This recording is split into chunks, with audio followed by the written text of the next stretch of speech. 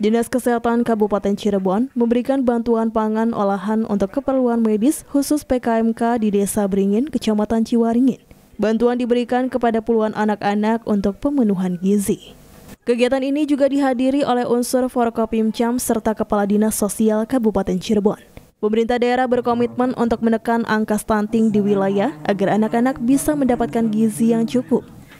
Kepala Bidang Kesehatan Masyarakat menjelaskan Dinas Kesehatan sudah melakukan intervensi spesifik melalui 11 indikator spesifik. Di antaranya memberikan tablet tambah darah dan screening HB untuk remaja putri dan pemeriksaan ibu hamil. Apa yang sudah kami lakukan, jadi kalau kesehatan itu kan bertanggung jawab eh, terkait intervensi spesifik ya. Jadi kita punya 11 indikator intervensi spesifik.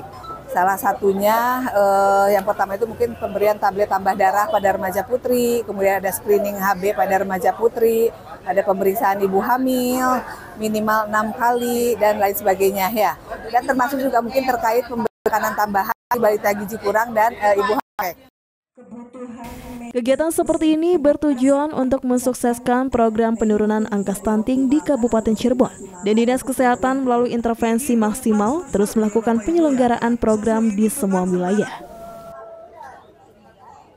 Muhammad Solihin, RCTV, Cirebon.